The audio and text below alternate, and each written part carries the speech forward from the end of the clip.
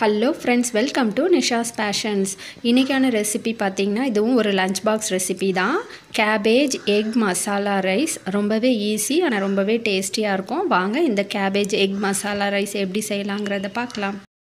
ஒரு பேன் எடுத்துக்கலாம். அது ஹீட் ஆனதுமே ரெண்டு டேபிள் ஸ்பூன் ஆயில் ஊற்றிக்கோங்க ஆயில் ஹீட் ஆனதும் அதில் ஒரு ஹாஃப் டீஸ்பூன் கடுகு சேர்த்துக்கலாம். அப்புறமா கொஞ்சமாக கருவேப்பிலை சேர்த்துட்டு ஒரு பாதி பெரிய வெங்காயம் கட் பண்ணி வச்சுருக்கேன். அதை சேர்த்துக்கோங்க. அதுக்கு தேவையான உப்பு சேர்த்து நல்லா வதக்கிக்கலாம்.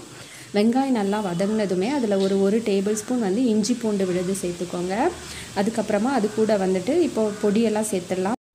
அரை டேபிள் ஸ்பூன் மிளகாய்த்தூள் கால் டேபிள்ஸ்பூன் மல்லித்தூள் கால் டேபிள் ஸ்பூன் மஞ்சள் தூள் அரை டேபிள் ஸ்பூன் வந்து ம கரம் மசாலா இவ்வளவும் சேர்த்து நல்லா வந்து எண்ணெயில் அந்த ப பொடியோட பச்சை ஸ்மெல் போகிறது வரைக்கும் நல்லா வதக்கிக்கலாம்.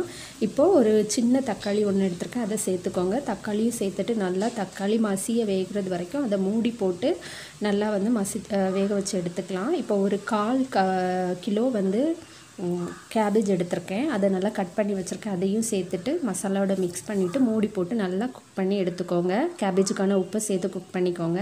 இப்போ கேப கேபேஜ் நல்லா வெந்துருச்சு. இப்போ ஒரு ரெண்டு எக் முட்டை வந்து வேக வச்சு இந்த மாதிரி கட் பண்ணி வச்சுருக்கேன். இதை வந்து நம்ம இப்போ இதில் போட்டு இந்த மசாலா அந்த முட்டையில் இறங்குறதுக்காக கொஞ்சம் நேரம் மூடி வைக்கலாம். இப்போ நான் அதை ஹாஃபை வந்து தனியாக எடுத்து வச்சுட்டேங்க.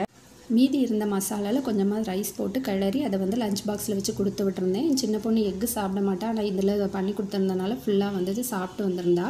இதை நீங்கள் வந்துட்டு சப்பாத்தி இட்லி தோசைக்கெலாம் கூட சைட் டிஷ்ஷாக எடுத்துக்கலாம். இதை வந்து கேபேஜ் சப்ஜின்னு கூட சொல்லுவாங்க. ஓகே ஃப்ரெண்ட்ஸ் கண்டிப்பாக இந்த வீடியோ உங்களுக்கு பிடிச்சிருக்கோம் நம்புகிறேன் நீங்களும் கண்டிப்பாக ட்ரை பண்ணி பார்த்துட்டு உங்கள் கமெண்ட்ஸை கமெண்ட் பாக்ஸில் ஷேர் பண்ணுங்கள் இந்த வீடியோ உங்களுக்கு பிடிச்சிருந்தால் லைக் பண்ணுங்கள் கமெண்ட் பண்ணுங்கள் ஷேர் பண்ணுங்கள் ஃபஸ்ட் டைமாக பார்க்குறதா இருந்தால் ப்ளீஸ் சப்ஸ்கிரைப் பண்ண கன்சிடர் பண்ணுங்கள் தேங்க்ஸ் ஃபார் வாட்சிங்